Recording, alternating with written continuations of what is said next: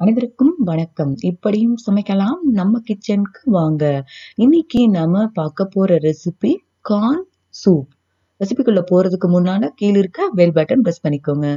எதுக்காகன்னா என்னோட அப்டேட்ஸை நீங்க ரெகுலரா உடனுக்குடனே தெரிஞ்சுக்க பெல் பட்டன் ப்ரெஸ் பண்ணி சப்ஸ்கிரைப் பண்ணுங்க. இதற்கு தேவையான பொருட்கள் என்னென்னன்னு பார்க்கலாம் வாங்க.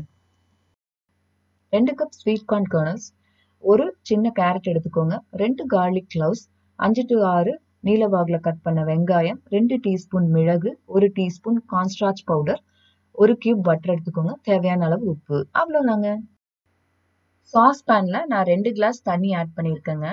அடுத்தது ரெண்டு கப்பு கார்ன்கர்னல்ஸை போட்டு நல்லா மிக்ஸ் பண்ணி விடலாங்க. ஒரு ஃபைவ் டு சிக்ஸ் மினிட்ஸ் இதை குக் பண்ணலாங்க. இப்போ சாஸ் பேனில் ஒரு கியூப் ஆஃப் பட்டர் ஆட் பண்ணியிருக்கேன்.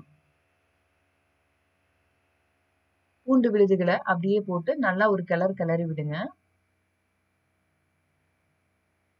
அடுத்தபடியா நீல வாகுல கட் பண்ண வெங்காயத்தை நம்ம சேர்த்துக்கலாங்க. இதையும் போட்டு நல்லா ஒரு கிளறு கிளறி விடுங்க. கூடவே வந்து உப்பு சேர்த்துக்கோங்க. கார்ன் கர்னல்ஸ மிக்ஸி ஜார்ல போட்டு நல்லா ஒரு பேஸ்ட் மாதிரி அரைச்சிக்கலாங்க இப்போ இதுல நம்ம சேர்த்துக்கலாம். சேர்த்துட்டு நல்லா ஒரு கிளறு கிளறி விடுங்க.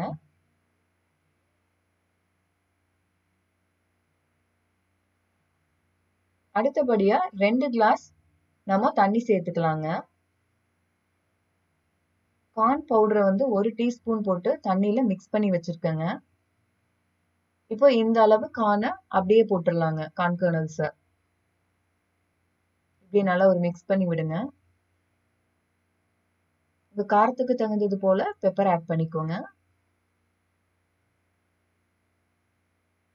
அடுத்தபடியாக மேலால கேரட்டை தூவி விடுங்க. இப்போ இது நல்லா கொதிச்சிட்டு இருக்கு. ஸோ இந்த மாதிரி டைமிங்கில் நீங்கள் அந்த கார்ன் பவுடர் மிக்ஸை ஆட் பண்ணிக்கலாம். அப்படியே ஒரு மிக்ஸ் பண்ணி விட்டு ஒரு டூ மினிட்ஸ் குக் ஆன பிறகு நீங்கள் ஆஃப் பண்ணிக்கலாம். சூப்பரான, டேஸ்டியான நம்மளோட கார்ன் சூப் ரெடி ஆயிடுச்சுங்க. இது ரொம்ப ரொம்ப ஈஸியான ரெசிபியும் கூட, ஹெல்த்தியானதும் கூட. மறக்காம நீங்களும் உங்க வீட்ல ட்ரை பண்ணி பாருங்க. கீழ இருக்க பெல் பட்டன் பிரஸ் பண்ணி சப்ஸ்கிரைப் பண்ணுங்க, லைக் பண்ணுங்க, கமெண்ட் பண்ணுங்க, ஷேர் பண்ணுங்க. வணக்கம். நன்றி.